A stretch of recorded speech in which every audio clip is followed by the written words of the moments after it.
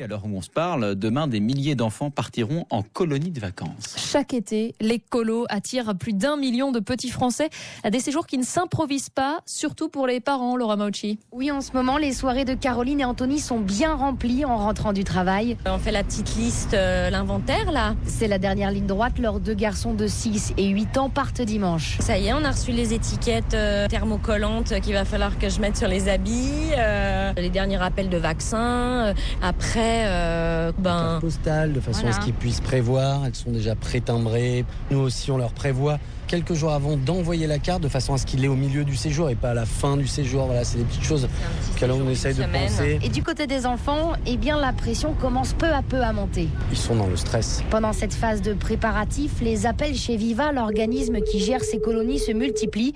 Bertrand doit répondre aux nombreuses questions. Quelles personnes euh, vont être présentes sur les centres pour s'occuper des enfants Quels diplômes ont les animateurs? Euh, Est-ce que euh, s'il y a un souci sur le centre, je vais être prévenu? Ça va être des informations pour les parents, mais aussi pour assurer l'enfant avant le départ. Pour que les départs se passent sans larmes, Caroline et Anthony ont une technique, un petit paquet de bonbons dans le sac à dos et c'est tout de suite beaucoup plus facile. Les bonbons, ça fait toujours du bien, Laura Mauchi.